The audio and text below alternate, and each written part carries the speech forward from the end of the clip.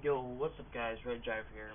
Um, right now, I'm going to be doing a video about, um, how to add,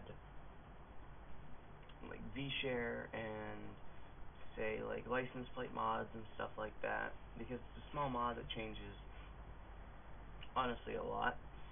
Um, so first, you're going to want to find, like, a license plate mod, or a mod that requires Vehshare um, I know there's a lot of like discussion um, about Vehshare, but basically you just want to download your license plate mod. So let's download this, GTA5mods.com. Then you want to download new Vehshare v2.1. I'll put the link in the description for the newest one. Um, so now, just download Vehshare new Vehshare. Now that that's downloaded, you're going to want to bring these both to your desktop. Whoops. Grab the files. Bam. Bam. So now you have both of those. Now I'm going to assume that you have Vehshare, or not Vehshare, but OpenIV. Um, so now we're just going to open up open up OpenIV,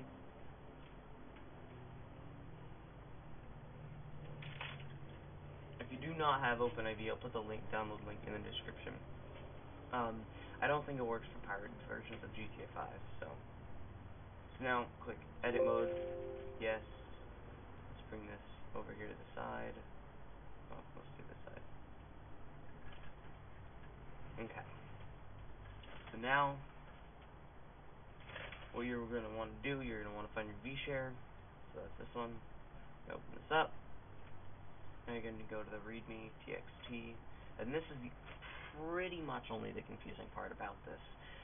Um, so you want to go to Update, Mods, Update, Update our RPF, 564, our Patch, uh, Levels Patch.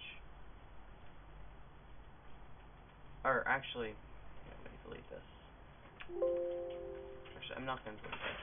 So basically what you want to do, now that you're in your update, updated RPF by 64, you're going to want to right click, click new, folder, then you're just going to want to name it patch. Okay. It's going to say that for me because I already have one, but this is going to show up right here, this patch right here. So you're going to right click that. You're going to click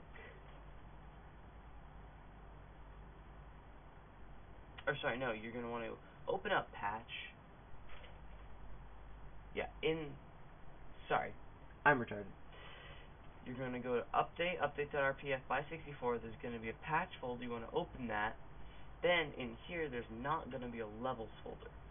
So you just want to click new, folder, levels, and then, you know, you're going to get this one.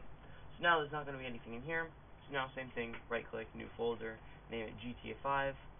And then now in here, this is the thing that a lot of people get messed up on. You're not just going to click new folder. You're going to click add. Or sorry, not add. You're going to click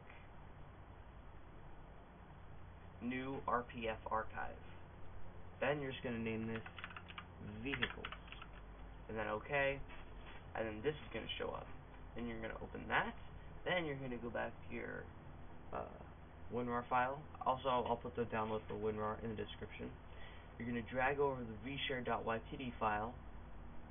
Then, once that's in here, you're going to click on update.rpf. Then you're going to drag over the content.xml and remember to back up all your files. So backing up, that's also another confusing thing.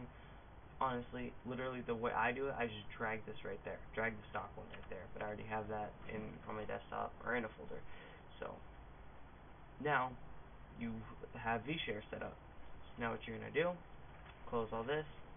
I'd recommend keeping your file, keeping your Vehshare file just in case something does get messed up.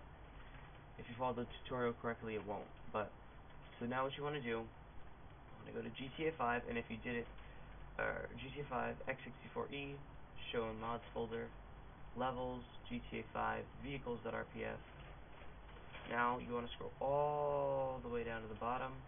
Then you want to go to the V's, and then there's if you did it right, vehshare.ytd is going to show up. Then you're going to open this. This looks confusing, and it kind of is, but you're just going to want to scroll all the way down here. The ones I say, if I click the readme.txt, it says replace the Yankton plate and Yankton plate N. So the Yankton plate N is like the shape of it, and I've already got this in here.